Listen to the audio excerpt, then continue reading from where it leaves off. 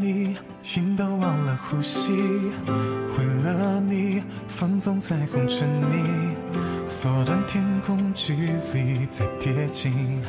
你说要躲避回忆的结局，要收起思绪，在跳跃的心，却不愿平静。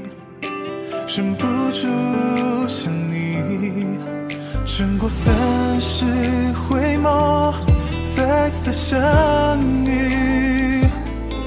冥冥之中被谁轻易奔向你命中注定的东西？不是命运的垂怜偏爱，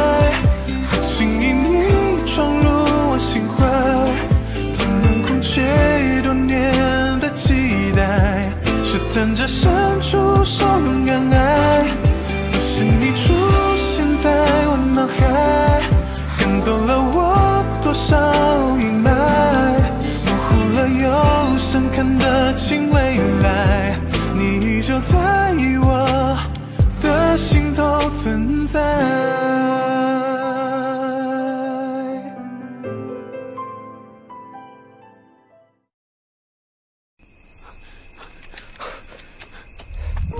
叶青，于明鹤，我早该猜到这一切是你在幕后指使。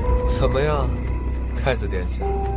我也不算是庸碌无能之辈吧？你想干什么？当然是为了让你们团聚啊！如今人都齐了，那我们就开始算账。于明鹤，你有什么冲着我来？放了他！不不不，这一场戏一个也不能要你死！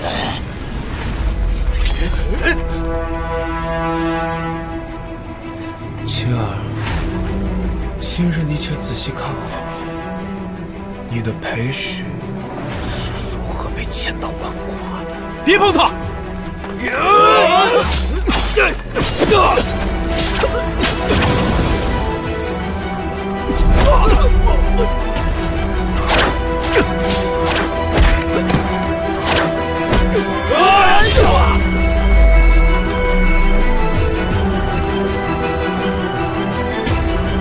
太子殿下可小心点，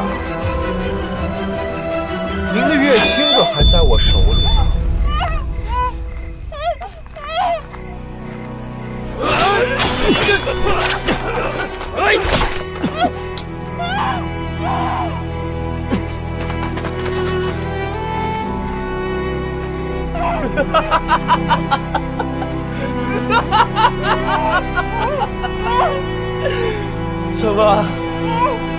伤了？太子殿下可要注意点儿，您的乐器可是会心疼的。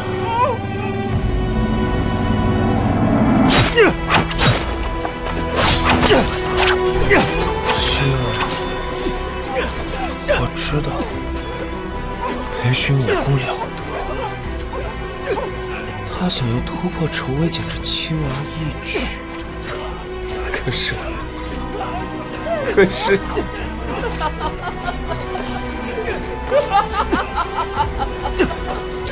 他们拿的每把刀射都上面去。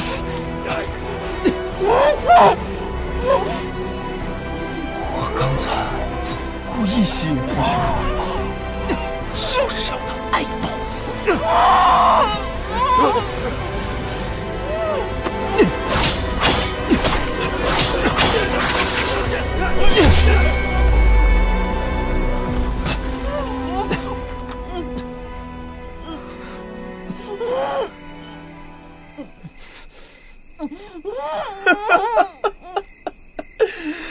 裴雪，死在我手里也不算委屈你吧？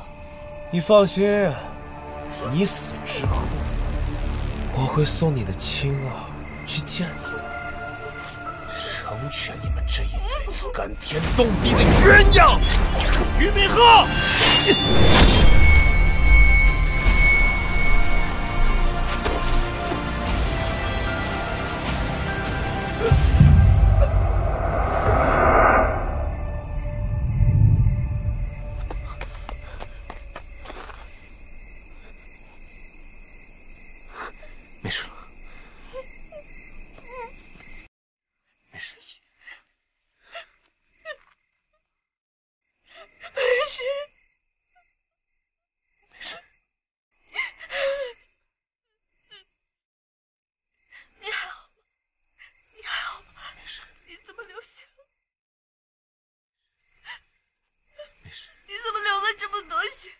就没事了。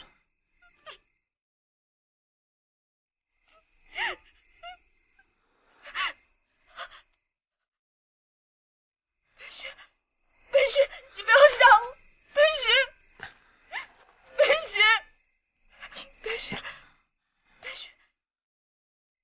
你醒醒，你醒醒。